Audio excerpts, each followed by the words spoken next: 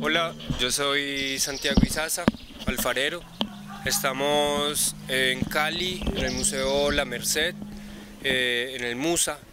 Estamos haciendo un encuentro de ceramistas de la ciudad y de la región pues eh, cercana aquí a Cali.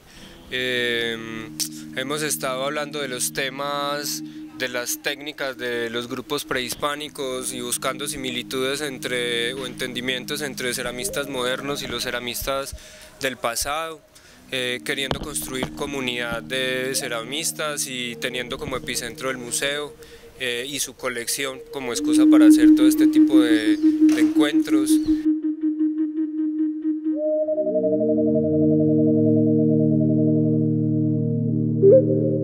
Yo soy Diana Carolina, soy arqueóloga, estoy en el encuentro de ceramistas del Museo Arqueológico La Merced, en la ciudad de Cali. El museo nos muestra varias piezas de Tumaco, Calima, de Quimbaya, y es importante en el trabajo artesanal que conozcamos muchas de las eh, técnicas, muchas de las eh, piezas que hicieron los artesanos antiguamente y valorar también ese, ese trabajo y poder tal vez eh, realizar algunas de ellas. Cuando conocemos cómo se hacen las cosas técnicamente, podemos describir mucho mejor y poder eh, incluso determinar patrones estilísticos, eh, tecnológicos y conocer un poco más de las similitudes y de las conexiones que tenían entre culturas.